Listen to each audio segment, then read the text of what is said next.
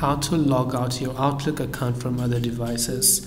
If you wish to log out your Outlook account from other devices, it's actually quite very simple to do so.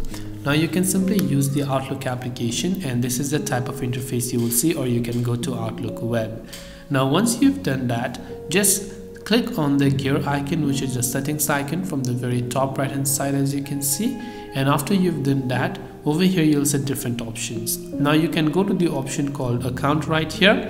And once you go to account there you'll find the option called mobile devices once you go to mobile devices, here you'll see all the devices that are currently logged into your account.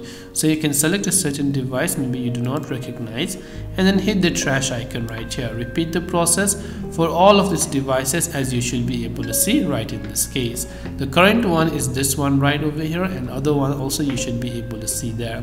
This way you'll be able to remove your Outlook account from other devices. As a bonus tip, you can also just try to change your password. I hope the video helped you. If you have any questions, feel free to leave them down. Thanks for watching and see you in the next video.